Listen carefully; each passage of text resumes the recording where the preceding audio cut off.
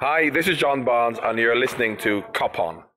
Whoa. We are live. We're live on YouTube, and we are not live in your ears if you're listening, um, you know, wherever you are, whoever you are, across this fine, if slightly damaged planet. Um, but uh, it's not all bad news because I'm with John Gibbons, Liverpool legend.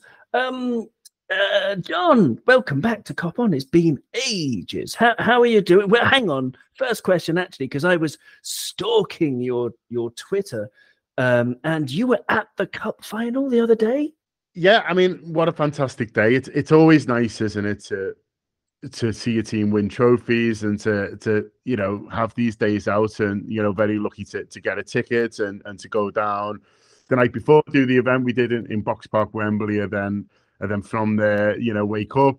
Um, you know, wake up in London. It was it was a couple of miles away, so I could pretty much see Wembley Arch from the hotel, which was really nice and exciting. And then get down there, enjoy the atmosphere, enjoy people coming in and, and, meeting people you see, people you know. And, and, but then the main thing is that you do want to win. And those players put in everything, didn't they? You are you are so proud to to support them because they, they give everything that they can for this team. And yeah, another trophy for Jurgen Klopp. I'm interested in where it ranks in terms of. I mean, you said you're lucky enough to get tickets. I don't know how many finals you've been to, but I mean, where does that rank in terms of all the finals that you've seen uh, Liverpool lift some glorious pots? I think I worked out on my way down there that this is my 17th final in person, wow. so so that's not bad. Um, I'm not I'm not done them all sort of in my lifetime. There was one or two I missed for for sort of you know various reasons really. Um, but um, but I've done everyone on the Jurgen, uh, and yeah, it, it, was a fantastic one because.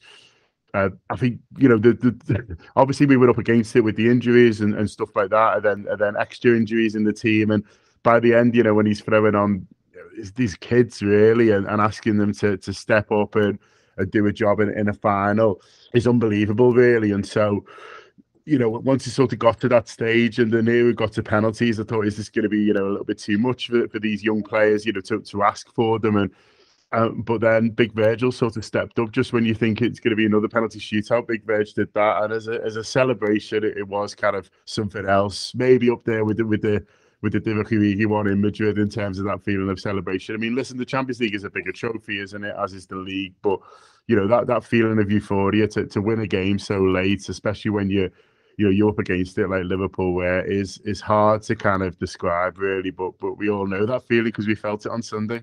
It's beautiful, isn't it? Especially you know you know at our age, and you know, and I'm sure there are lots of people listening who have who've been following the Reds for even longer, as well as people who've been following the Reds for shorter, but sort of at, at, our age where where where we've been following this sort of story for so many years and the the ups and the downs and the complexities and the nuances and the subtleties. And then you just get something that's that's just glorious everything that comes together because we know we followed virgil's history. And then you know the new boys creating their own stories. The start of Jayden Danns's career you know half played half a game and uh, got a trophy. Pretty pretty special. Um so yeah brilliant. But i want to i want to know um one more question about that cup final because speaking of like limiters on on microphones and stuff on TV, obviously they've got very special microphones and they they they drown out the noise and they try to make it equal if it's at Wembley when it's you know 50-50 capacity between Chelsea fans and Liverpool fans. But people who were there said that it, the allez allez allez towards the end of extra time was like the loudest they've ever known Wembley I mean, what was that like to be, you know, firstly, how did it come about? It, it, was like spontaneous, right? People were just, everybody just got the impression that, okay, we need to help these kids out.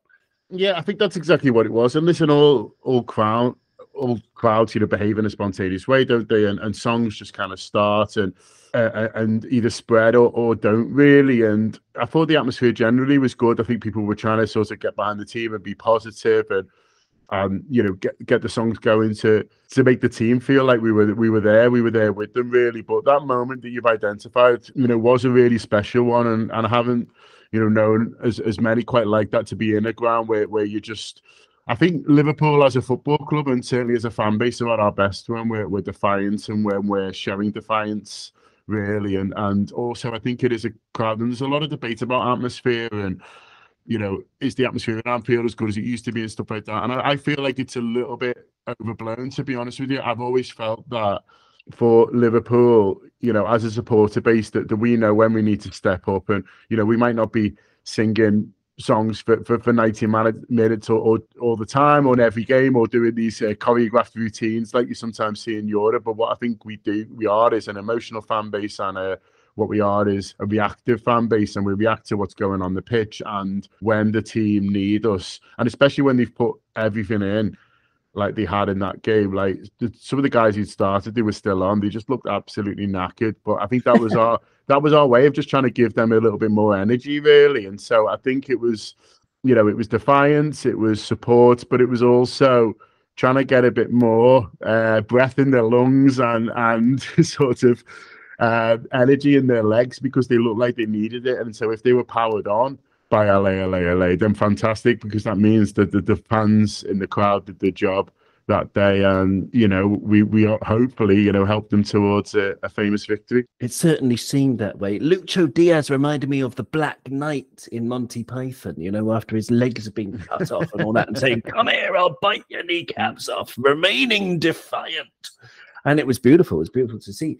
Um, anyway, I asked you uh, on um, today for this special uh, and sorry for the YouTube viewers, I've just switched the volume on because I'm uh, not very organized with these kinds of things. So if you're still with us on YouTube, thank you.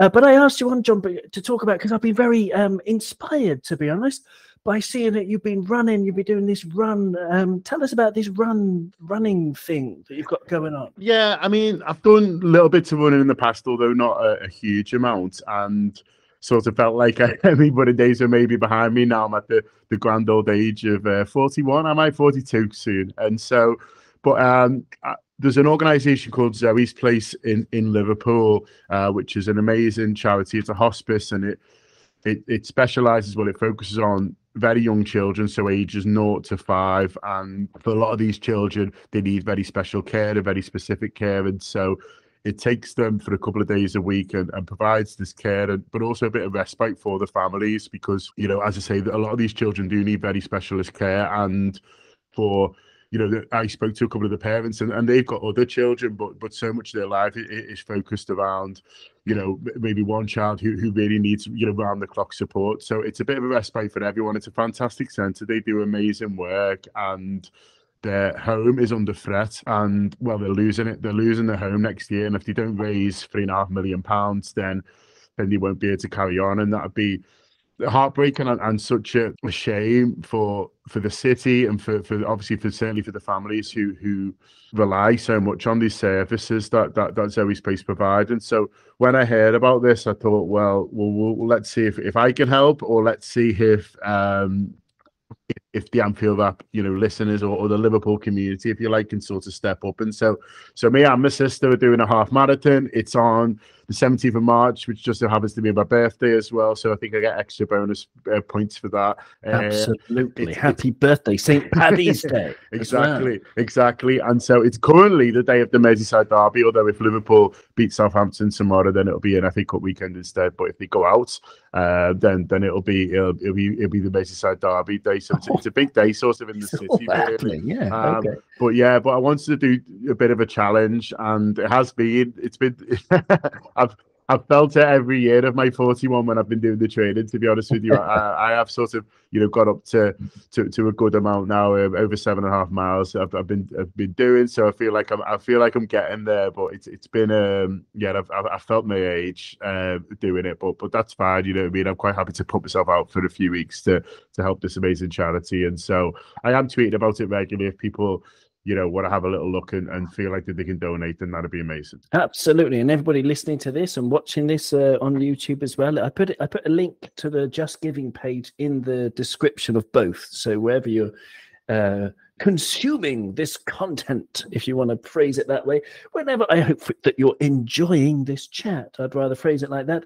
Um, if you are, then um, you know, and if you do have a spare, whatever it is, a fiver, a tenner, uh, you know, whatever, 20p, then uh, everything helps really. So just go to go to the Just Giving uh, page because I mean it's it's it's extraordinary, you know, stepping away from from football. I mean, talking about you know things that are way more important than that. You know, uh, I became a dad last year, and you know the idea of like you know any child needing hospice care and palliative care, end of life care, that kind of thing is just, I mean, it's just um, uh, incredibly tough thought even to have you know so so to these families living through it and the fact that there are organizations set up in Liverpool and around the world to help the families and help the kids involved. It's it's just um, you know it's it's testament to the human spirit, really, isn't it? I mean, you know, uh, so you know, well done, and it's it's it's and well done to everybody involved in in, in all of that thing, and and you know for you know I'm, I made a donation this morning, very happy to give, and and and I hope that other people are who are uh, who are listening to this or watching this. So um, yeah, I got I got a couple of questions from uh, from some uh, Kop On uh, regulars uh, uh, who are often guests. Uh, people like uh, like Doug. A couple of questions. Doug from uh, the the Dugout YouTube channel. Um, Doug wants a, a question. Um, I don't know if you know, Doug was on Sky Sports as you were talking about Sven coming to manage the Legends uh, game because because as far as I know, and I think this is true, it was Doug who put on Twitter first, um, even though I'm sure other people would have had the same idea. Why not get Sven to manage the team when when the bad news came about about his need for uh, you know palliative care, you know, and and and, and these kind of you know his his terminal diagnosis, which is uh, very heartbreaking. But uh, you know, so Doug was saying basically his question is, how did it feel to go on Sky News and chat about Sven managing the legends? Yeah, and it just felt like to me like it was it was the, a, a, good thing that the club could do if if they could. And I wasn't trying necessarily, and I'm sure Doug wasn't necessarily to put pressure on sort of anything like that because obviously these things take organisation and and we were completely clear if Sven was was sort of up for it, both you know medically, but but also sort of generally. But it just felt to me like it it would have been well, it, it will be a, a, nice thing to sort of happen if it can really, and obviously all those circumstances had to sort of come together. But then it, it looks like it has, and there's going to be a managerial team. Uh, I think that is to lighten the load on Sven, which is good because you just want him to enjoy it, don't you? But but he'll have that moment, and he'll have that moment, you know, sat in the, the dugout. And, you know, I'm sure he'd be daydreaming about what it might be, you know, like to to do a Champions League night or something like that. This obviously won't quite be there, but the atmosphere of these Legends games are really good. Um, the atmosphere you know, tends to be, you know, there's a lot more families and kind of things like that, and people who maybe haven't always got the opportunity to come to Anfield can go to these Legends game. Um, it's against Ajax, which is obviously a, a huge European team as well. So I'm sure everyone involved will enjoy and and hopefully Sven, you know, has a has a brilliant time and he enjoys it. And I think it reflects well on the club that they've managed to to to make it happen because, as I say, it's never quite as easy as you know me and sometimes make out. Not just you know you go say, oh, just quite. They, they haven't happened and, and goes to who organises this game to make that happen. Um, yeah, I mean, I think it's great. It's a really good idea getting a management team in, and, and as you say, lightening the load. And yeah, I mean, it's just great that it's finally, you know, it's it's all coming together, and that's wonderful. Very positive. Um, question from Nigel uh, at Irish Red Eleven on Twitter, and he says uh, he asks, sorry, um, basically with the evolution of these kids that came on in the final, and and maybe others that didn't come on, like Jason Koumas and Trey Nyoni, he's he asks like, how much money are they going to spend? Uh, are they going to save us uh, this summer? Which you know, another way of asking it is like, how many of these will actually stay and and and and be able to cement a place, if not in the first eleven, then in the squad? Yeah, it's it's a really good question, and uh, and time will only really tell on that. I mean, it looks like there's a few of them who are, you know, stepping up now and are very much seen as first team players. You know, the likes of Conor Bradley, who in the summer, I don't think, you know, people would have been too sure either way whether he was going to have a Liverpool career. He'd done well at loan, but it was, you know, League One football. And so I think it was fairly open, you know, for him, similar for, for Quansah, who'd also had a good loan, but it wasn't you know, completely clear, you know, how he would do in the Liverpool first team. And those players have, have grabbed those opportunities and look like they're going to be first team players moving forward based on the the performances and based on how they they've played. For the others, you know, you mentioned before Jayden Danns, it's less than half a game, isn't it? So it's hard to kind of draw too many firm conclusions on on his future. But what what, what I would say is they, they, they look like they've got a lot of quality. They look like they've got a belief, but also a lot of credit goes to to the manager and, and the belief he puts in them because I think that must help so much in terms of their confidence and when whenever these lads have come onto the pitch, they've looked like that they felt that they belong there, and I think that's a credit to the coaching that they've had, and also to to a manager who just says just go on and enjoy yourself and, and express yourself. And so, for me, I think they're a football club that will give them every every chance of succeeding, and and I think that's all as a young player that you can ask for. Really, I think you know we've seen times at this club and, and and also certainly at other ones where it feels like your pathway is blocked a little bit or you can get to a certain point but then it's hard but i think we have got a manager who will who will give you chances and and he's quite happy even in a final to to kind of give give lads a go and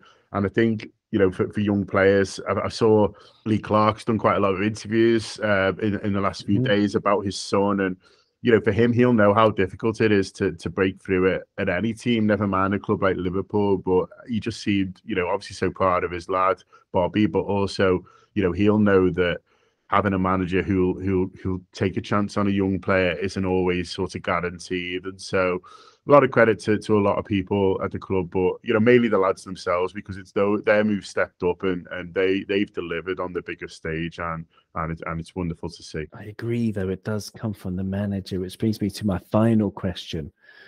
Of course, the obvious one. I mean, Jurgen's leaving. Have you got any ideas of who who you would like? Because I've got two answers in my head. I want Amorim. If you look at the data, but then my heart's obviously with Xabi um, seeing his, uh, I don't know, he's just sort of swarthy, suave kind of gentleman, isn't he?